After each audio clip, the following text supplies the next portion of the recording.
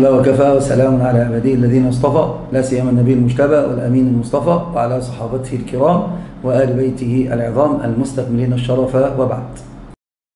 إن الحمد لله نحمده ونستعينه ونستغفره ونعوذ بالله من شرور أنفسنا ومن سيئات أعمالنا من يهدي الله فلا مضل له ومن يضلل فلا هادي له وأشهد أن لا إله إلا الله وحده لا شريك له وأشهد أن محمدا عبده ورسوله. يا أيها الذين آمنوا اتقوا الله حق تقاته ولا تموتن إلا وأنتم مسلمون.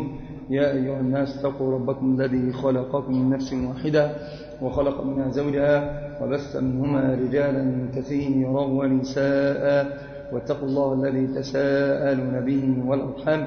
إن الله كان عليكم رقيبا. يا أيها الذين آمنوا اتقوا الله وقولوا قولا سديدا يصلح لكم أعمالكم ويغفر لكم ذنوبكم. ومن يطع الله ورسوله فقد فاز فوزا عظيما.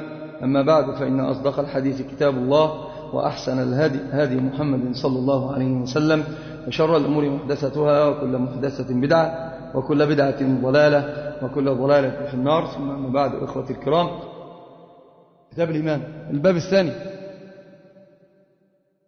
ذكر ما يدل على أن الإيمان والإسلام اسمان لمعنى واحد وأن الإسلام الإقرار باللسان والعمل بالأركان وأن الإيمان اعتقاد بالقلب. حديث عمر حبيبي حدثني. لو تستطيع أن توجز فيه حتى ننتهي لأن الوقت مر علينا كثيرا فأتي ائتي بأهم ما فيه. حدثني عمر بن الخطاب رضي الله عنه قال بينما نحن عند النبي صلى الله عليه صلى وسلم الله عليه وسلم. ذات يوم إذ طال علينا رجل شديد سواد الشعر شديد بياض الثياب لا يرى عليه أثر السفر ولا يعرف منا أحد حتى جلس إلى نبي الله صلى الله عليه وسلم وأسند ركبته إلى ركبته ووضع كفيه على فخذيه ثم قال يا محمد أخبرني عن الإسلام ما الإسلام قال تشهد أن لا إله إلا الله وأن محمدا رسول الله وتقيم الصلاة وتؤتي الزكاة وتصوم رمضان وتحج البيت إن استطعت إليه سبيلا. قال صدق. قال فعجبنا له يسأله, يسأله ويصدق ثم قال أخبرني عن الإيمان. ما الإيمان؟ قال الإيمان أن تؤمن بالله وملائكته وكتبه ورسله واليوم الآخر وبالقدر كله خيره وشره. خيره وشره. خيره وشره. بدأ جزاك الله خير الباب إيش؟ بوب بابا. إيش الباب؟ ذكر ما يدل على ابتداء الإيمان. ذكر ما يدل على ابتداء الإيمان. ابتداء الإيمان نعم أن الإيمان والإسلام إسمان لمعنى واحد. نعم. هو يقول باب ذكر آه، يعني سأذكر لك الأدلة التي تثبت أن الإيمان والإسلام إسمان لشيء واحد. هو الحق أنهما يتفقان في شيء أو قل يجتمعان لشيء واحد وهو الدين لكن لكنهما متغيران. الأصل أنه أتى بحديث جبريل لأن في حديث جبريل إظهار المفارقة والتمايز بين الإسلام والإيمان. وقد بينا الأسبوع الماضي, مع التمايز لا يمكن الانفكاك. مع التمايز لابد أن يكون التلازم والترابط. إذ لا إيمان بلا إسلام ولا إسلام بلا بلا إيمان كما سنبين. وهو هنا الآن يستدل بهذا الحديث أيضا على العلاقة بين الإسلام والإيمان. اختلف العلماء في مسألة الإسلام والإيمان على قولين. أو قول على ثلاثة أقوال. القول الأول قول بعض المحققين ومنهم جبل الحفظ. من؟ البخاري.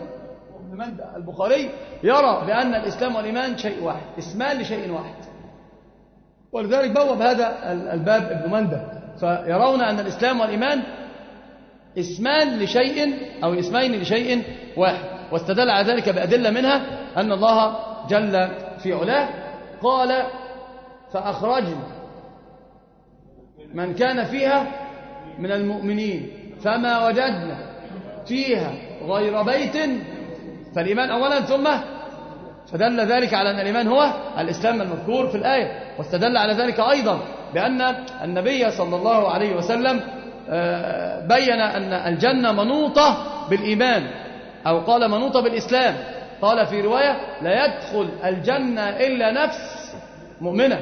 لا يمكن أن تدخل إلا أن تكون نفس مؤمنة والمؤمنة لابد أن تكون مسلمة. فلذلك قال هذه فيها على أن الإيمان هو الإسلام. الله جل في علاه أناط دخول الجنات وقبول الأعمال الصالحات مع الذين آمنوا. الذين آمنوا. وهذه أيضا دلالة أنهم أسلموا لله جل في علاه. فهذه أدلة يستدلون بها على أن الإيمان والإسلام اسمان لشيء واحد. وأوضح ما استدلوا به كما قلنا الآية التي ذكرناها. القول الثاني قول جماهير أهل العلم من السلف والخلف بتفصيل وتفسير أنهم قالوا الإيمان يغاير الإسلام. والدلالة على مع أنهما يتلازمان لا ينفكان. والدلالة على ذلك من الكتاب ومن السنة. أما من الكتاب قد قال الله جل في علاه إن المسلمين والمسلمات والمؤمنين والمؤمنات والأصل في العطف إيش؟ المغايرة. إذا المسلم غير المؤمن. وأيضا قول الله جل في علاه قالت الأعراب آمنا. قل لم تؤمنوا ولكن قولوا أسلمنا. ففيها دلالة على التفريق بين الإيمان والإسلام. النبي صلى الله عليه وسلم في الحديث الذي في الصحيح لما أعطى رجلا فقال له سعد بن أبي وقاص لما تركت فلانا؟ والله ما, والله ما أراه إلا مؤمنا. فقال له سلم أو مسلما. أي قل أو مسلما. وهذا دلالة واضحة جدا أن السلام يفرق بين المؤمن وبينه وبين المسلم. قال قل أو مسلما. وأيضا الحديث حديث الباب الذي يستدل به المصنف دلالة واضحة جدا أن جبريل قال للنبي صلى الله عليه وسلم ما الإسلام؟ قال أن تشهد أن لا إله إلا الله وأن محمد رسول الله. إلى آخر أركان الإسلام. ثم قال ما؟ الإيمان. فإذا السؤال سؤال عن مغايرة. سأل عن إسلام وسأل عن إيمان. فدلالة واضحة جدا على الفرق بين الإسلام والإيمان. لأن السلام قد أجاب جبريل وكلما أجاب قال له جبريل صدق صدق ثم قال جاء يعلمكم أمر دينكم. ففيها دلالة على المغايرة بين الإسلام والإيمان. ثم بعد ذلك قالوا ومع هذا التفريق الذي جاء به الشرع. نحن نقول العلاقة بينهما علاقة تلازم وتوافق. إذا اجتمع افترق وإذا افترق اجتمع. لما قالوا بهذه القاعدة قالوا ولها نظائر مثل, مثل البر والتقوى مثل الفقر والمسكنة. كل هذه نظائر لمثل هذه المسألة. قالوا إذا اجتمع افترق وإذا افترق اجتمع وبهذا يردون على على ما استدل به الأولون. يقولون إذا اجتمع يعني إذا اجتمع في الذكر إسلام وإيمان كان الإسلام يدل على الأعمال الظاهرة وكان الإيمان يدل على الأعمال وهذا في مسند أحمد وفي غيره جاء صريحا عن النبي صلى لكن الحديث فيه ضعف وإنا نستأنس به وهو أنه قال الإسلام علانية والإيمان في القلب. الإسلام علانية وهذا مثل حديث جبريل قال أن تشهد أن تصوم أن تصلي أن تحج هذه إيش؟ جوارح ظاهرة علانية. وقال في الإيمان تؤمن بالله وملائكته باطل. فقال الإسلام علانية والإيمان في القلب. نستأنس به وإن كان السند ضعيف.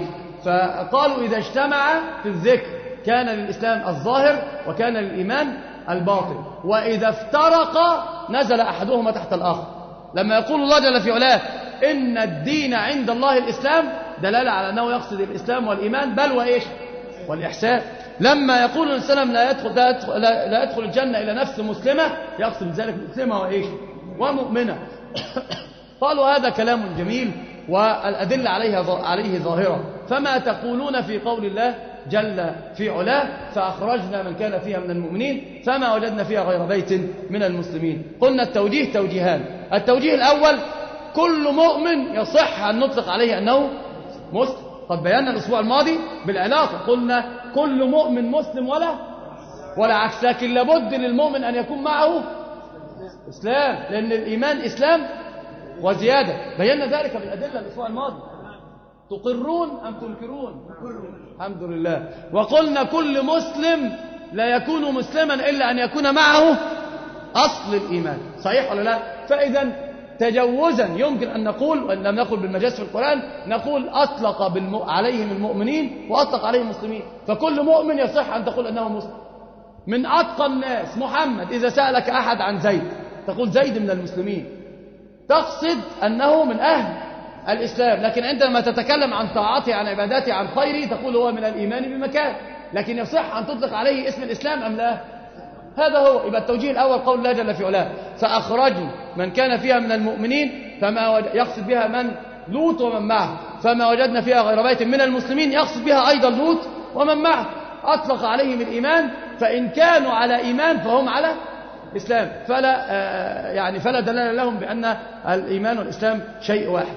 الأمر الثاني أو التوجيه الثاني وهو الأقوى نقول قول الله جل في علاه فأخرجنا من كان فيها من المؤمنين يقصد لوط وبناته وامرأته. وقال هذا بيت إيمان. نعم هو ده الصحيح. بيت إيمان. فقال فما وجدنا فيها غير بيت من المسلمين لأن هم أهل القرية كانوا كفار. فالكلام كله على لوط وأهل بيته. فما وجدنا فيها غير بيت من المسلمين. فيقصد بالمسلمين الحق من؟ لوط وبناته. لأن امرأته كان ظاهرها الإيمان. هي مع لوط. ولوط مؤمن وأولاده على إيمان. فكان ظاهر المرأة أنها على فلما راحت الملائكة وذهبت كشفت عن عن الغيب وأظهرت أنها من المنافقين وليست من المؤمنين. فلذلك كان الإسلام صرفا لمن؟ للوط وبناته ومعنى ذلك أنها أيضا ما كانت من المسلمين ما كانت من المسلمين. لذلك أصابها ما؟ أصابه. وهذا هو الرد الثاني على ما استشكل به البخاري. فيبقى لنا الدليل سالما من المعارضة. الإيمان والإسلام اسمان لشيء واحد على ما بوب به المصنف. لا يصح لابد أن نقول الإيمان والإسلام متغايران لكنهما متلازمان. ولا ينفكان بحال من الأحوال. يتفرع عن هذا الأصل ألا وهو المغايرة بين الإسلام والإيمان. ثمرة مهمة جدا. نعم جيد القول الثالث هو القول بالتفصيل.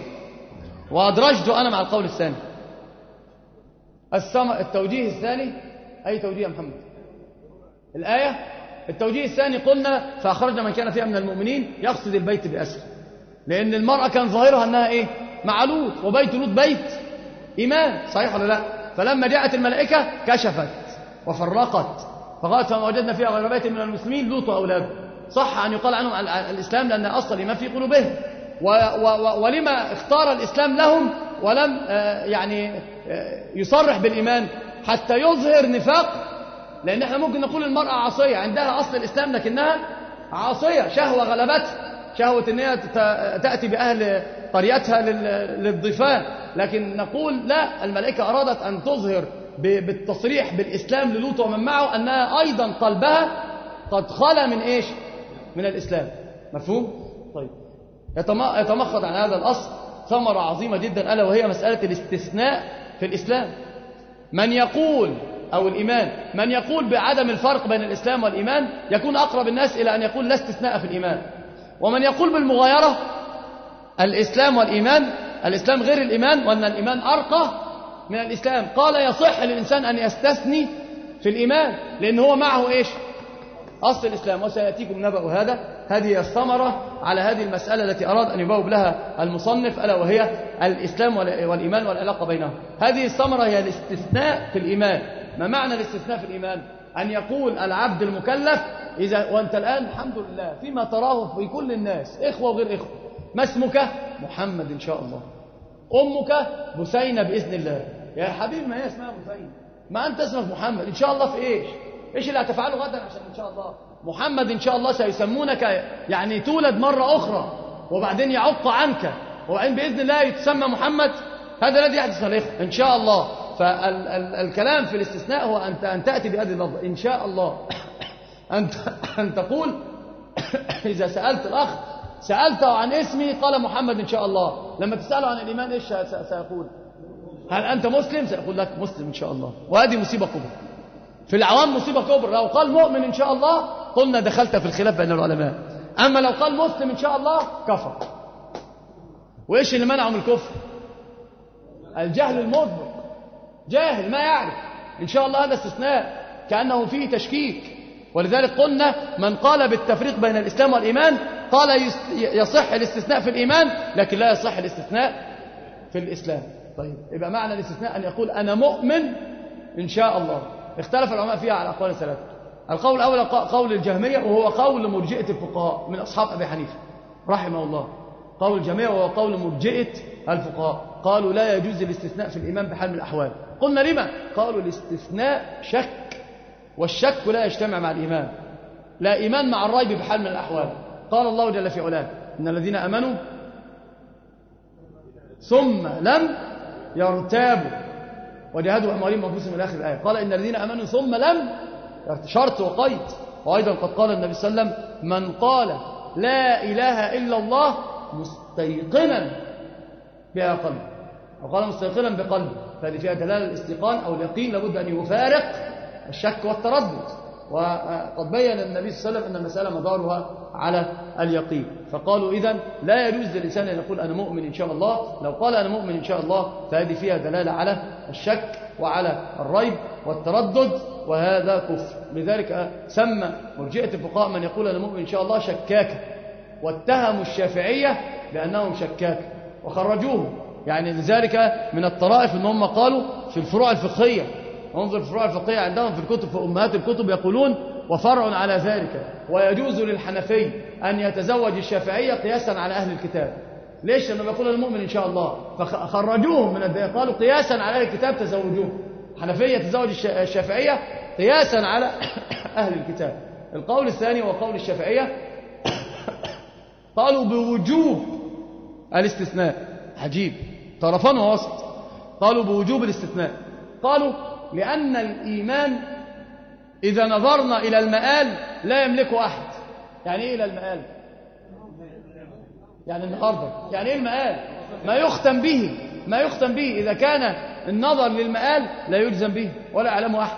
وإن قال الله جل في علاه يا أيها الذين أمنوا اتقوا الله حق تقاته ولا تموتن إلا وأنتم مسلمون. هذا يجتهد فيه المرء لكن لا يجزم به. ولا سيما أن النبي صلى الله عليه وسلم قال وبين أن كل إنسان لابد أن يحسن الظن بربه وما أحد يعلم بما يختم له. قال النبي صلى الله عليه وسلم يمسي المرء فتن كقطع الليل المظلم. وفي في الرواية قال كما وقع القطر بينكم.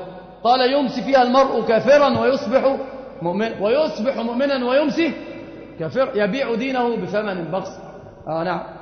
أو بعرض من الدنيا. دراهم معدودة.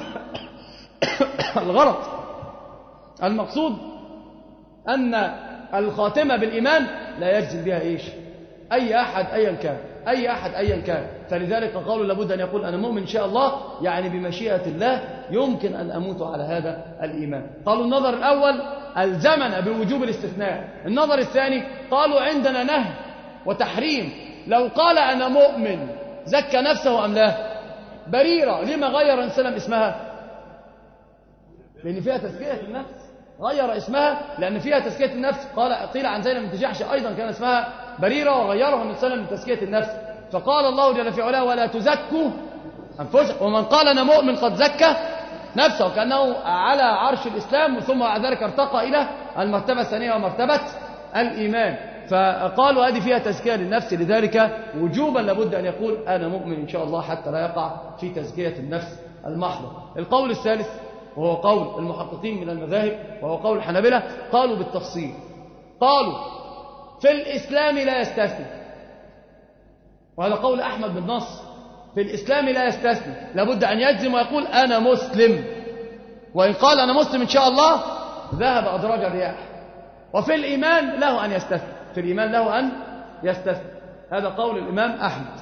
قالوا نحن نقول بالتفصيل. إن كان الكلام على المآل فعليه أن يستثني يجب أن يستثني. وإن كان الكلام على الجزم بالديانة التي يدين الله بها فوجوبا لابد ألا يستثني. وبذلك قد جمعوا بين القولين وهذا هو القول الراجح نخلص به إلى أن الاستثناء الإسلام لا يصح فيه الاستثناء والإيمان يصح فيه الاستثناء ويكون بذلك استئناسا على ما رجحنا بأن الإيمان والإسلام يتغايران. لكنهما يتلازمان لكنهما يتلازمان. الفوائد المستنبطة من الحديث الذي ذكره المصنف أولا يترتب على التفريق بين الإسلام والإيمان وهو الراجح الأظهر كما بيناه أحكام في الدنيا وفي الآخرة. طالما فرقنا بين الإسلام والإيمان فمن أظهر الإسلام فله. ما للمسلمين وعليه ما على المسلمين. يتزوج من أهل الإسلام يرث من أهل الإسلام يموت فيدفن بين المسلمين ويغسل ويصلى عليه. وهذا الذي بينه النبي صلى الله عليه وسلم حتى تستوي أحكام الدنيا. قال لأسامة عندما قتل الرجل وقال ما قالها إلا تعوذا قال له هل لا شققت عن قلب أن تخذ بالظاهر واجعله إسلام؟ وهذه قاسمة ظهر لأصحاب الغلو الذين يكفرون بلا بينة وإن كانت عندهم البينة ولم يستطيعوا أن يقيموا الحجة ولا يزيلوا الشبهة ليس لهم أن يتجرؤوا على مثل هذه الأعراض. وأن يخرجوا رجلا دخل دائرة الإسلام بيقين فلا بد ألا يخرج إلا بيقين بشا... بدليل أوضح من شمس النهار. قد قال صلى فقد باء بها أحدهم فإذا أظهر الإسلام بصلاة أو بصيام أو بأذان لنا أن نقول هذا من المسلمين له ما للمسلمين وعليه مع المسلمين إن عصى نكره هذا هذه المعصية و و وأيضا أمام الله جل وعلا نبرأ من هذا الفعل لكننا لا نخرجه من دائرة الإسلام. إلا إن كان منافقا خالصا وقد أظهر نفاق. لو أبطل النفاق ما لنا وللقلوب؟ قال عمر بن الخطاب مصرحا قال رضي الله عنه وأرضاه أيها الناس إن الوحي قد انقطع. فمن أظهر لنا خيرا عملناه يعني بهذا الخير. وإن كانت سريرته سيئة فحسابه على الله. ومن أظهر لنا شرا عملناه بإيش؟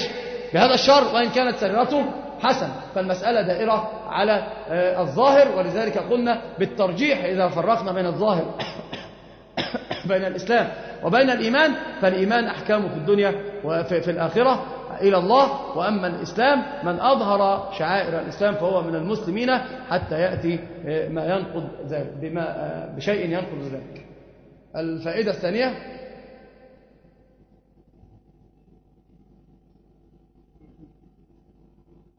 من ترتيب سؤال النبي صلى الله عليه وسلم أنه لا يحكم لرجل مكلف بأنه من أهل الإيمان حتى يأتي بالإسلام. ترتيب أولي ملزم لابد نلزمه. قال ما الإسلام؟ قال أن تشهد.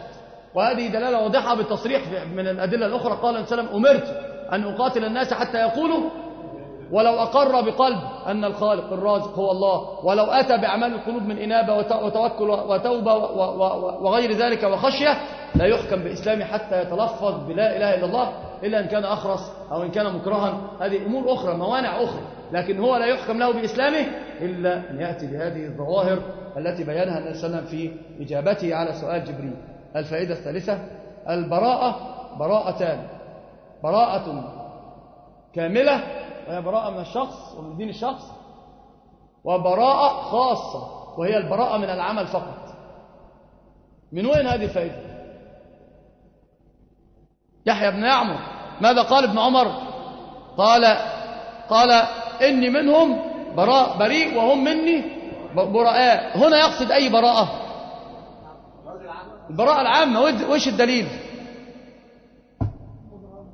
إيش الدليل البراءة العامة؟ ابن عمر قال أنا بريء منهم كفر. وهم مني براء البراءة الكاملة العامة. إيش الدليل؟ قال لو أنفق أحدهم مثل أحد ما تقبل منه ومن الذي لا يتقبل الله منه الأعمال؟ الكافر. ماذا قال الله جل في علاه؟ وما منعهم أن تقبل منهم نفقاتهم إلا أنهم كفروا بالله وبرسوله شحط مين هم مين؟ إيه إحنا طبعا انت خلف الجبل الآن تعال. انزل من على الجبل الله يكرمك. قصة عمر بن الخطاب يحيى بن يعمر الله يبارك فيك. لما جاء لابن عمر. الأسبوع الماضي كنت معنا؟ ما كانش موجود؟ القصة القصة الطويلة. لما اكتنفوا عمر بن, خط... ابن عمر. فقالوا إن عندنا أناس يتق... يتقفرون العلم يقولون القدر أن المس... لا قدر وأن الأمر أنف. قال إيه؟ إني منهم بريء. وهم مني؟ هذه البراءة براءة إيش؟ براءة كاملة عامة وهي البراءة من الديانة والدلالة على ذلك أنه قال لا يقبل الله منهم صرفا ولا عدل أو كما قال النبي صلى الله عليه وسلم.